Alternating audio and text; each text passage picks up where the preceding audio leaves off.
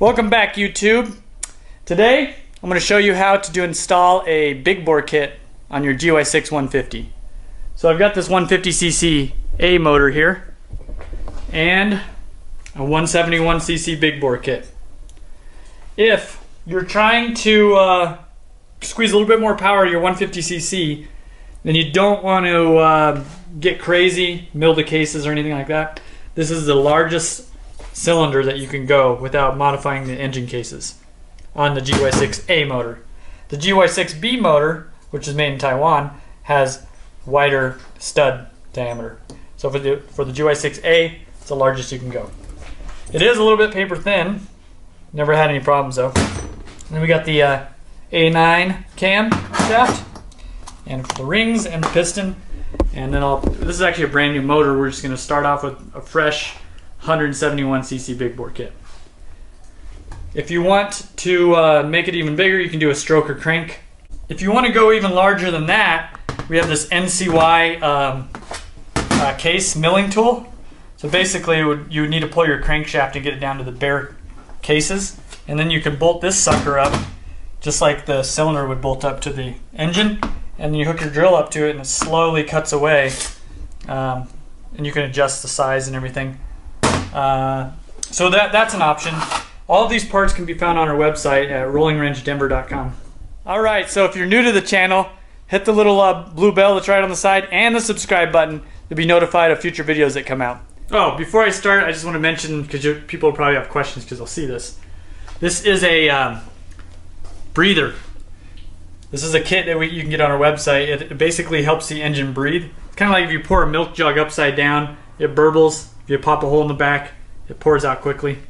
Kind of that concept, um, except for it helps the engine breathe a lot better. You'll notice performance increase pretty quick. And then you run this uh, this pipe up, and uh, you notice there's already oil in it because it'll it'll blow by oil. But you just have to put a, that up higher. And then we've also upgraded the brake pads to uh, much better brake pads. We have those on our website too. Also, this is our stator It's going into the Honda Ruckus. This will be a direct plug into the Honda Ruckus if you have any questions about that. Um, and if you have a uh, GY6 that you want built or you want to buy a uh, GY6 engine from us for your Ruckus or whatever, we can build them. This is actually a customer's right now. Decided to do the video since it's super uh, requested. So the first thing we need to do is get these engine shrouds off. I'll start by um, removing the side one. This motor is put together with mainly 8s and 10 millimeters. So you got these two. Get this fan off. Glove, four bolts. Get that guy out of the way. I always like to just uh, keep all the bolts together. That way you don't misplace it. And then we got to get these guys off.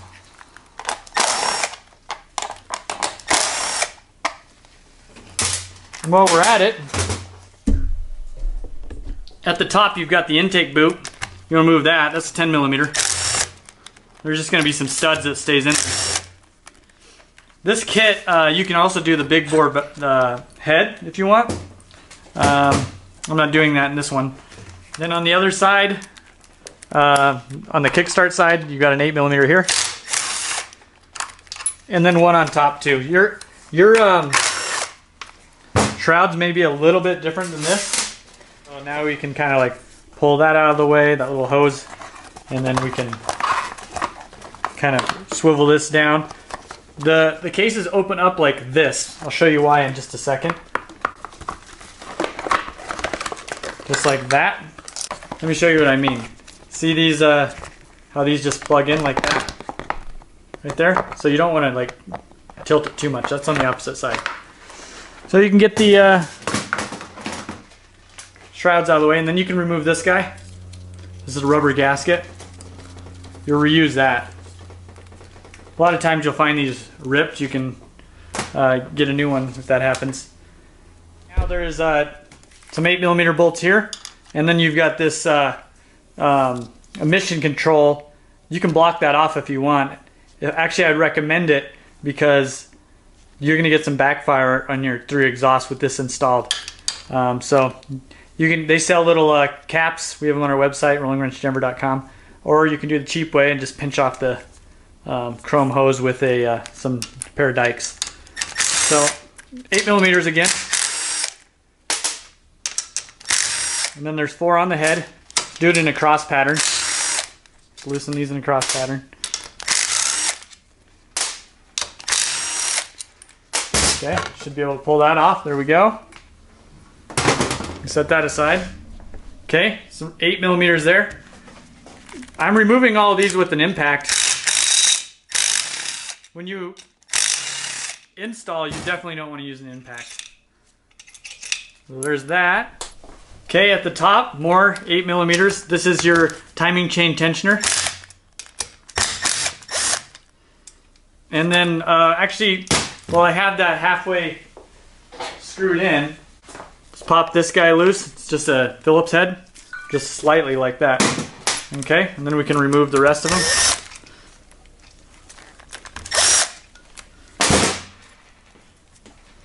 Use the back of a screwdriver to pop that loose, or a mallet. Just like that. You can set that aside. Okay, now the cylinder head bolts. Again, I'm using the impact to remove, not to install. Just go in a cross pattern.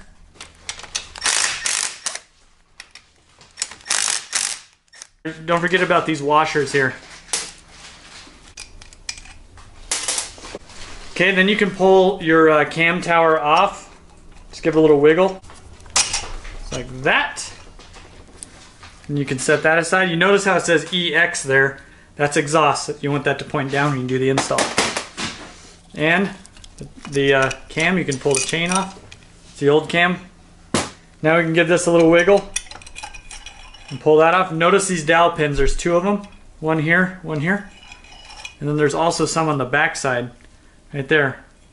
One there, one there. So basically there and there. Okay, set that aside.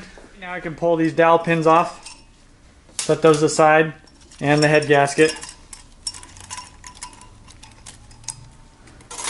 And underneath here is a timing chain guide. Pull that out of the way. You notice this motor hasn't been ran not even one mile. So everything looks brand new. Just give it a little wiggle and a pull all the way out. Like that. Here's our old, old brand new uh, cylinder. Again, more dowels. There's one here and another one right underneath. Okay. So all our dowels are taken care of. Okay, so the piston, you got the a G clip. This makes it really easy. Um, pull, squeeze it down, pull, and turn. See, see what I did there? Just like that. Once you get that out, you only need to get one side out. You can push from the back side, like that. And then you can grab the, this shouldn't be like a major thing. You can pull it out real easy. It's like that. You notice this IN on top? That's for intake. That's facing up when we do the install. Okay, now that you've got your old cylinder piston out of the way, see this green gasket? There's going to be a little bit of it left over on the top and bottom. You can see here. Let me let me zoom in. You just want to get in there with a razor blade and cut those uh, pieces off so it's flush. Okay, so here is our 171cc big bore kit with our brand new cam, A9 cam. There's all kinds of different cams. A5, A6, A7, all the way up to A11, A12. There's a lot of different cams and each cam has their own uh, features. So decide what cam would be best for you. Um, for this one, it's for acceleration. There's other top speed cams, things like that. Um, so the what changes the cam shafts are the duration of the cam. If you notice, this one's got a real pointy top, and this guy's got more of a. It's not as sloped down as the other cam. So different cams do different things. Um, so here's our old piston. Here's our new piston, a little bit, little bit bigger. And uh, we're gonna reuse our cylinder head, which I like to do, um, just because it, it adds more uh, compression when you get a larger cylinder head, it cuts out the uh, an area for a little bit less compression. Although you can get heads with larger valves, which makes a difference. But in this scenario, we're using the stock head, and then we'll re reuse this uh, this uh, cam tower. But what we need to do right now is start installing these uh, piston rings. There's uh, quite a few of them. Let me show you how they all work and which ones go where on this uh, piston that needs to be installed. So here's our brand new piston. I always start with the oil ring. This is the oil ring and I'll start by putting this into the very bottom notch just like that and kind of swiveling it around and we know that the gap is right here. Now I'm going to flip it, flip it around like that and then you've got some two very thin rings. They're obvious. There's two thin rings in comparison to the others. And you want to put that ring a little, little close to the where the pin goes in there, but not all, all the way. We're going to put that in the bottom. And then I'm just going to work it around. Like that. Make sure it gets all the way around. You don't want to open these, these piston rings up too much. And doing it in this order really helps let me do the trial and error. So that I've done trial and error, and this is the way that they should be installed in order. Okay, so now that we know the gap is on this end, I'm going to do the same thing at the top, but on the opposite end. And I'm going to work that around, just like that. So the idea here is the gaps you do not want to line up. So you want to make sure that everything is perfect. So you've got a gap here, a gap here, there's one on top, one on the bottom, and the gap that's in the middle for the oil ring, that's all the way around here. Now, next one. So now that we know, so we our last gap was right here. You want to flip that around and we'll uh, put that, the dark ring, there's two rings. There's a dark one and a lighter one. The dark one goes down here. I'm to do the same exact thing. I'm just working it really slow. You don't want to open up this ring too much. So see how I've got that gap on the second ring down there and the other ring gap is on the opposite side, completely opposite. So now I can take my last ring and that's just going to be, see I've got that one on this side of the pin, the other one's going to go on this side of the pin. So get one side in, just like that, and then again just working it around just like this, real slow, not opening them up too much. There we go. So the idea here, again, is making sure the, the ring end gaps are not in line with other ring gaps. They're far from each other. So like this, the top rings, there's one there, one there. You flip that around. Then you got one there, one there on the oil ring. And then the middle gap is all the way around here. So I hope you understand that. Very important. Now we have to install our two G-clips. Now, I always install one first on one side of the piston. Remember the intake goes up. Uh, you want to decide which one you're going to install in first on what side because if you're going to have a hard time getting to this side, you want to install, you know, this side first. So I'm going to uh, take my G-clip and get it kind of at the tip and squeeze it pretty hard. The number one thing is you don't want this to go flying across the room. So what I'm going to do is just spin it. See how it twisted like that? You don't want that to happen. So squeeze it down again. The other thing is when you're spinning, you don't want to spin towards this edge of the clip. You want to do the rounded corner so it doesn't connect. You know, grab on and, and stop the uh, ring from sliding in the circlip. So here we go. Do it again. Do you hear that click? So there we go. There it is. You want to make sure this gap is not in this gap here. See the, the gap in the circlip? And you just want to make sure that it turns. That's like the way that you know that it's in there. So there we go. Now we'll put the piston in. Our piston pin. I like to keep a little cap full of oil so you can lubricate everything. You can also use assembly oil. So this is what I want to do is slide the pin in just like this. You, you can do this before you, you know, I have it up to the camera to show you, but uh, slide that down. Remember, intake up, IN. And then uh, you'll match it up and you just slide your pin through just like that. Now we got to put the other clip on that end. So G-clip, really tight, and you want to enter it in on the uh, this little gap up here. That's where you want it to, to start. I'm just holding my hand over it so the thing doesn't go launching across the room. Okay, I heard it click. And spin it around to make sure it's in. And we're good. Okay, we've got our uh, piston in now. You want to be careful that these uh, ring gaps don't move a whole lot. And then I'm going to slide my dowels in, dowel pins there. There's two of them, remember? Okay. And then the base gasket, the brand new base gasket. Now, you notice there's a, a longer side and a shorter side. Be sure that the longer side is facing down. And you just work this real slow down the uh, studs here. And then grab your timing chain, get that out of the way. And your piston. You could actually do this before you put the piston on if you if you want. You can do that probably would have been smarter.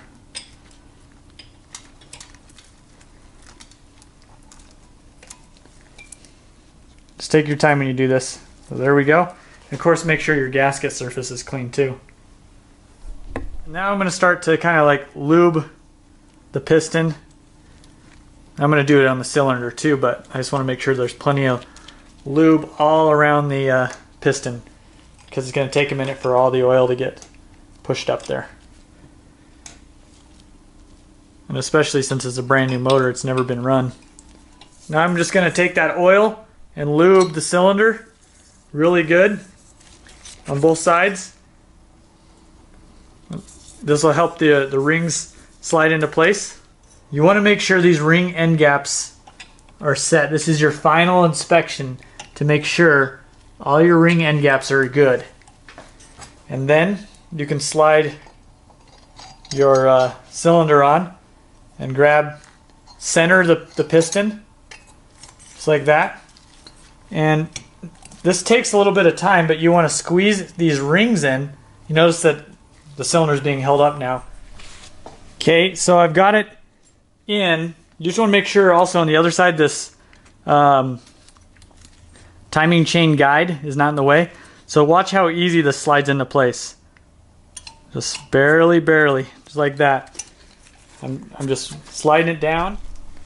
Timing chain, send that through.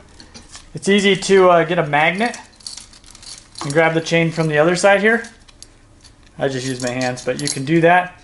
And then working it down real slow.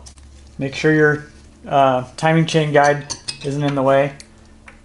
And then this is a tight fit down at the, the bottom of the cases. So you just want to make sure that it goes in nice and smooth. If there's any binding in any way, pull that out. Making sure the dowel pins line up. There should be no like hammering down on it, it just slides in. Now that I have it in, I'm just gonna kind of pull my uh, timing chain out and apply pressure. And I just wanna make sure that the piston slides inside there real nice and easy and there's no binding, which there's not. Now, more dowel pins. They only go in one way. If you try to put them in the wrong way, they won't slide down, so it's pretty obvious where they go. Now, we gotta get our head gasket on there. But before we do that, remember we've got this uh, timing chain guide. So pull that up out of the way and see there's a little notch cut out right here for it, just like that. And then your head gasket, it's got the little area that holds that piece in. So take your time, slide it down nice and easy, no binding. Make sure the chain doesn't get all raveled up. Here we go. You want to hold this guy down and get this piston to the very, very top. Just like that. So you notice we got this piston at the top, but we want to move over here and see this little notch right here? there's a little T mark. Hopefully you can see that. There's a T. And that mark has to line up with this mark here. So we'll just move it ever so slightly. There we go. It's lined up. It's like that. And our piston is at top dead center. Same thing as like the cylinder. You want to make sure your uh, timing chain guides don't get in the way and then pull your chain through and just give it a little wiggle till the cylinder head is nice and flush on the cylinder. See these lobes here? Cam lobes down. You want those down. The lobes down towards the engine. And then you've got this line here. Our goal is going to be to match that line up with the line that's here with the cam lobes down. I'm going to put these long 8 millimeter bolts in here and just snug them down real quick.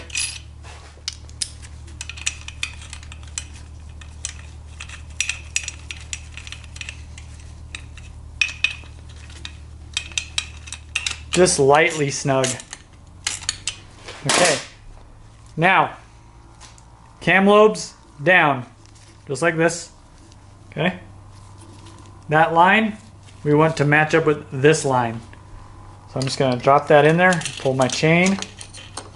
This is a trial and error. Remember we have it set to the T mark already, so you don't want to move it around too much. Sometimes it's easier to start from the bottom than the top. Okay, let's see where we set. Looks pretty dang good on the first try. So here is our uh, line here. I got all the slack out of the bottom and then like I'm keeping all the slack from the chain up here. All that slack's gonna be up there, tight on the bottom. So if you notice, when I hold it down, I've got the lines lined directly up with this line. And then remember we're at the top dead center on the flywheel mark. Cam lobes are down. You make sure that these uh, marks, see how it says EX, that's exhaust. And then you've got your dowel pins. Make sure those are down. This one isn't. There we go. And then make sure that these guys are not hitting the top of the uh, spring. Just basically make sure nothing's binding up. And then you're going to slowly but surely wiggle this guy into place. There we go. So remember we have on all four of these we have a washer and a nut. Install those on all four. Okay, so you want to torque these in a cross pattern down to spec. Also these here, 8 millimeters and 12 millimeters. You notice that we have to do a valve adjustment now. See how loose these are? But before we do any of that, we want to install our timing chain tensioner, this guy. Let me show you how to do that. So here's our timing chain tensioner. Notice that the tension is all the way out.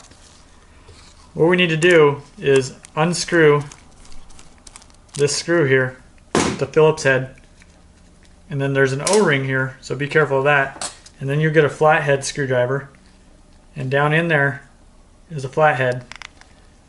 So you want to loosen it. It's actually tighten it. Tighten loosens it. And you just keep tightening, and then I'm going to carry this. Uh, see if you let go, it, it's spring loaded, and it won't go back. So basically, what I'm going to do is I'm going to pull this up to the uh, motor, install it with this being held, and then I can get my bolts started. And the last thing I'll do is cover that up. So let's do that. Okay, so here it is. I'm going to uh, start tightening the way it loosens. And it pulls it all the way down just like that. And I can hold that and get my 8 millimeter nut started, or bolt. Just going to hold that, get the other one started.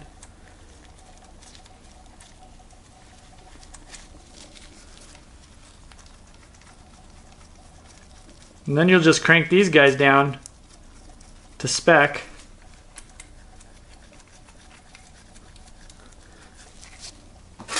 Okay, now I can let go of my little flathead. Make sure your O-ring's still there. And then install your Phillips screw, just nice and snug. Okay, so now we don't have any worries that the timing chain is gonna slip teeth when we turn the motor over. Okay, now for the valve lash. You wanna get a feeler gauge, looks like this, there's a bunch of different ones. Use a .004.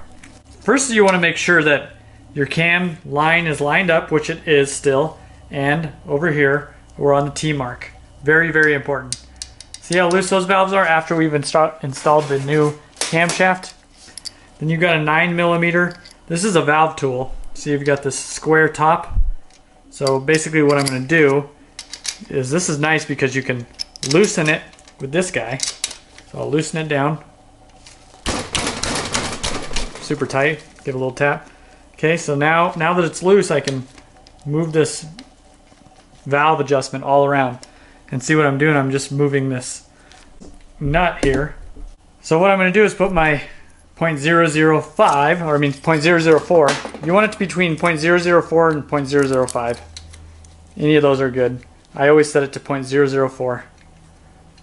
And you just want to, you should be able to drag it in and out, you feel it dragging. This is where this tool comes in handy real nice. So I'm just going to stick I'm, I'm holding with one hand here and spinning with this guy. Then I know, when I, once I know I have it adjusted correctly, see I'm just going to hold this so it doesn't move and tighten just like that. If it falls out, that's good because that means it's adjusted correctly. You just want to double check it though by sliding your feeler gauge in like that. And we'll do the same thing on the bottom. Down here we want to do this one too. Same procedure. Then we'll turn the motor over a few times, make sure the cam lobes are down, and then the T mark is on the top dead center, and then recheck them. That's a valve adjustment. All right, now we're ready for our valve cover again. Because this is going to a customer in Guam, I'm gonna leave all of this uh, emission stuff on. And then so we're, just gonna put all this back on the way that we found it. It's always a great idea once everything, the motor's kind of together, to turn over the motor and look for any type of binding in any way. Since I have the spark plug installed, it's going to get really tight. You're probably, your best bet if you've never done a motor top end rebuild is to remove that uh, spark plug so you can get a better feel. I've just done this a trillion times, so I kind of know what I'm feeling for. And I also did that, you know, before I rechecked the valve, so we're good. All right, now you've got your little uh, gasket. See that little lump there? That lump goes right in line with the lump down here. Just match it up, basically. Okay, now we can install our top cooling shroud.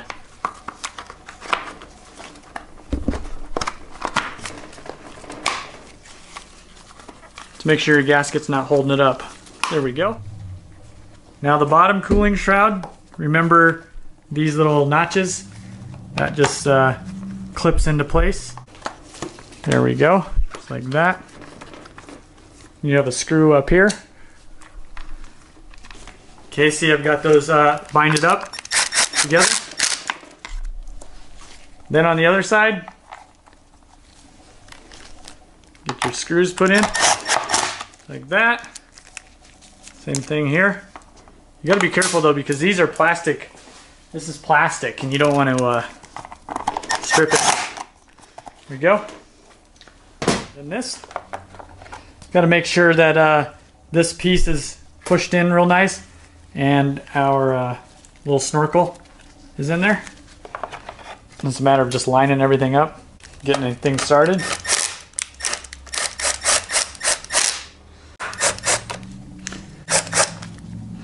You don't want to go too tight, it's just plastic. And two 10 millimeter nuts.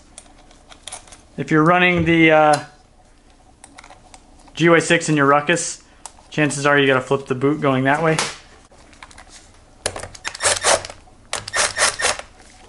Thanks for watching the, uh, the build here. Now we got a 171cc big bore in our GY6. Don't forget to hit subscribe and you'll see you in the next video.